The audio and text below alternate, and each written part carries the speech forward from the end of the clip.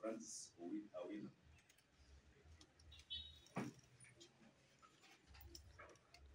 Francis Awino. Francis Awino.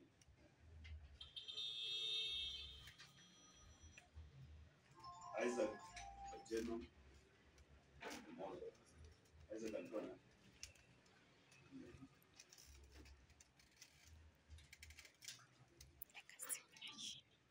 Francis Awino.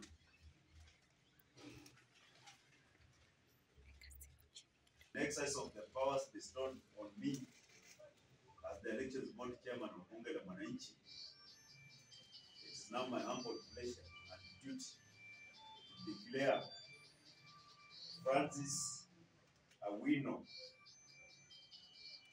as the president-elect of Bunge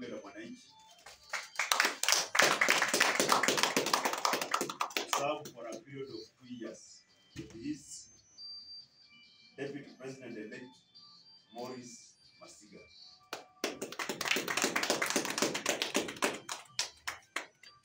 So, uh, uh, tutafanya kitu kama pesa. Seventh December 2023.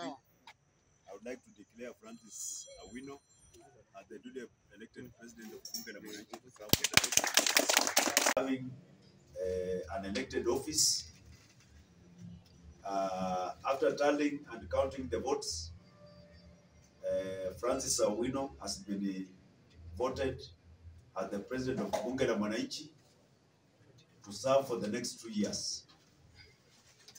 Uh, Hagai, Hagai Tenye has been elected as the national speaker of Bunge la to serve for two years.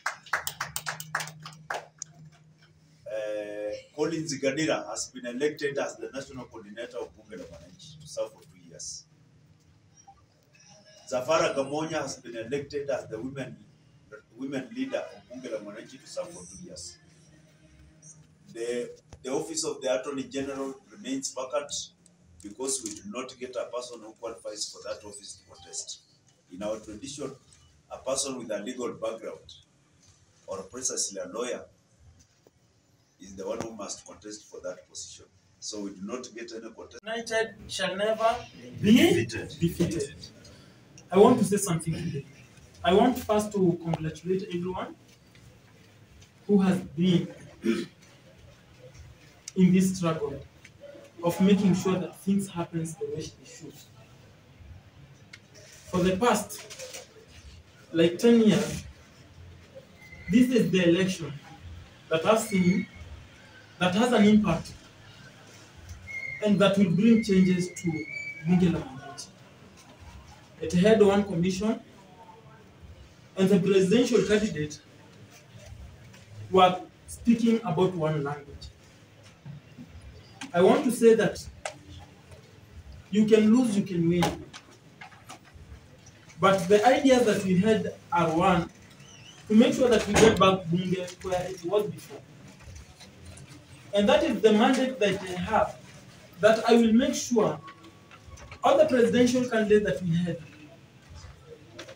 we will convene, sit down together, reason together, so that we can check how we can move this together. I want to say today, it marks the end. It marks the end of people not holding elections in Bunge la Mwananchi.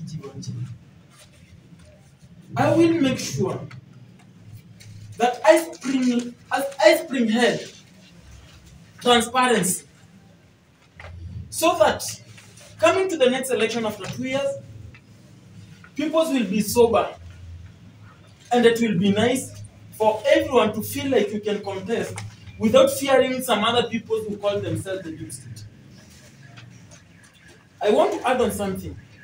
Those people who are sabotaging this election so that they can continue doing whatever they usually do with the name of Bunge. It marks an end to them as well. Because me and my office and my team will make sure anyone who thinks Bunge la Mwananchi negatively law takes its course.